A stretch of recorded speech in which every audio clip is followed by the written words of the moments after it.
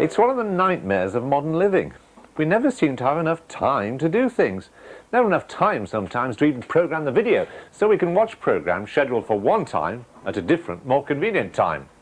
TiVo, launched just four months ago, was meant to save us time by automatically sifting through the schedules, picking out our favourite programs and recording them onto hard disk, which is fine if the magic box gets the time of the programs right. But John Cull has discovered that sometimes TiVo gets it wrong. If you don't have the right schedule, you might miss something important. Like a flight or your favourite television programme, both of these are important to me.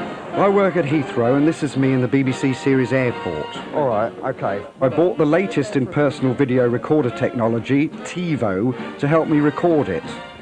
I pay £10 a month for my TiVo on-screen listings guide. It's updated each day via the telephone. It's supposed to make programming simple. Well, programming is simple, just point and click. But it's not much good if the listings are wrong. The problem started when TiVo recorded the UEFA Cup which was a bit odd because it should have been looking for an episode of the all-important airport.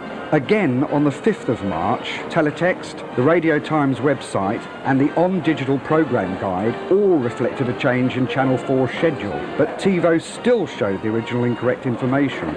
Crufts and the Cheltenham Racing Festival were cancelled, but TiVo still had them listed. I believe we miss less than 0.1% of programmes but we will miss some very last minute uh, scheduling changes. What's the point of me paying £10 a month for schedules that aren't kept up to date? Well, it's not a listing service.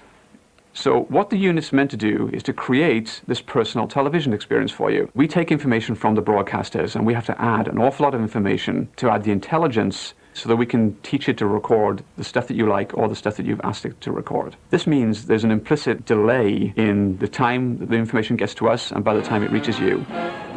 £10 a month could buy me lots of listings magazines, but I bought TiVo to take the hassle out of programming. The new series of Airport starts soon, and I don't want to wait any longer for this service to take off. That's it for Right to Reply. Until the same time next week. Good night. Exercise your right to reply by ringing us on 0870 504 4444, emailing us on r2r at channel4.com or writing to Right to Reply, Channel 4 Television, Horseferry Road, London SW1P 2TX.